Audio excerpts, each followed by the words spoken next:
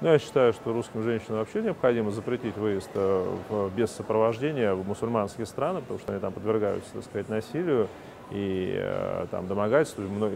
Очень много случаев э, просто похищений девушек. Вот, поэтому с этим надо заканчивать. Это такой специфический э, секс-туризмный оборот. Вот.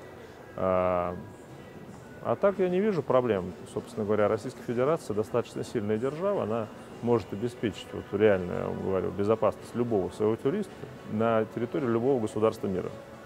Вот. И там толпа разъяренных там, исламистов, она никак нам не может помешать. Просто надо как бы эти вещи декларировать. Вот. Э, арабы, хотя и э, люди как бы горячие, но э, деньги у них играют первостепенную роль. И поэтому я думаю, что в туристических кластерах будет обеспечена безопасность при любой власти в Египте.